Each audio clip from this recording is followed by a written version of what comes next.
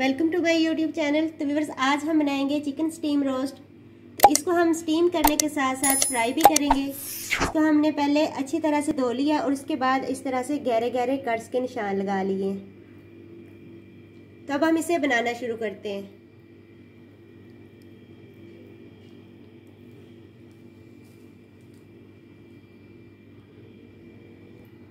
तो सबसे पहले हम इसकी मैरिनेशन तैयार करेंगे।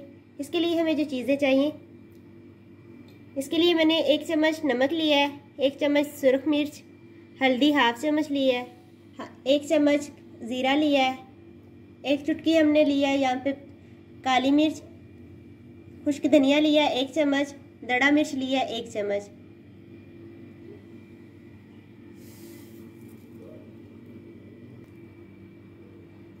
अब इसमें हम डालेंगे लहसुन, अदरक और सब्ज़ मिर्च का पेस्ट।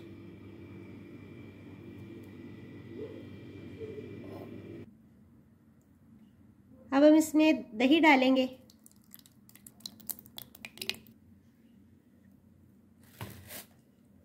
और अच्छी तरह से मिक्स कर लेंगे सारी चीज़ों को।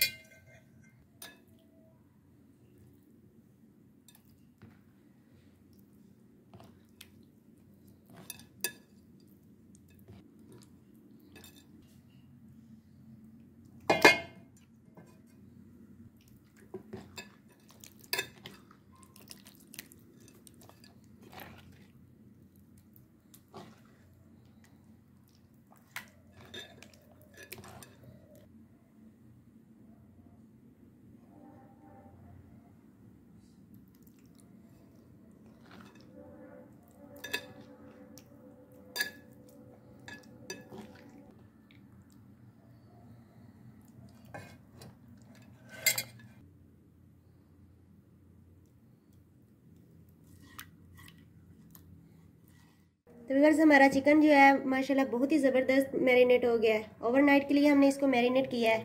तो अब हम इसे स्टीम करते हैं। एक, एक दफ़ा हम इसको इस तरह से मिक्स कर लेंगे।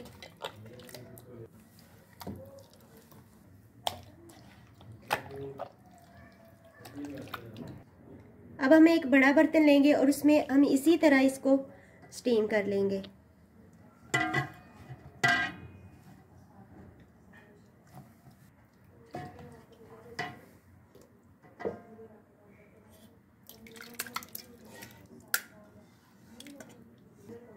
अब हम इसे ऊपर से कवर कर देंगे और इसको हमने बिल्कुल स्लो आँच पे इसको स्टीम करने के लिए रखना है।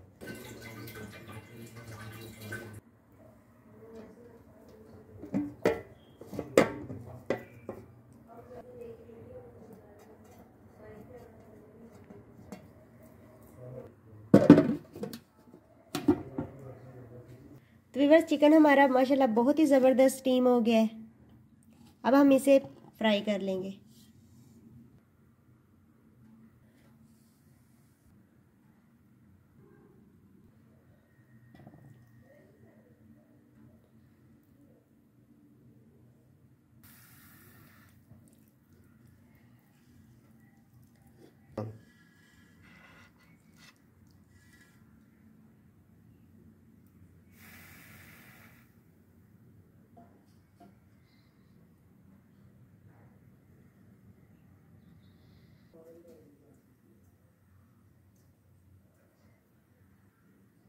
चिकन फ्राई करने के लिए हम सबसे पहले आयल को गर्म करेंगे।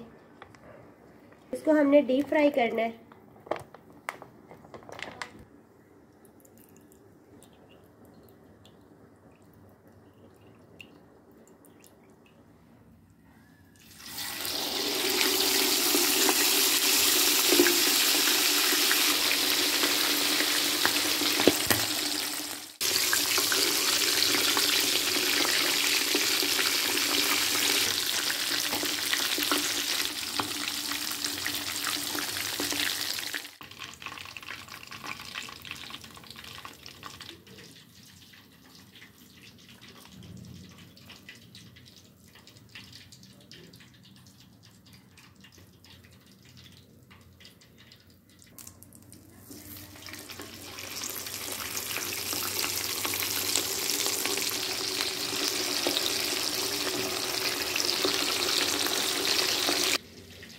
तो वीवर्स माशाल्लाह, बहुत ही ज़बरदस्त हमारा चिकन स्टीम रोस्ट तैयार है।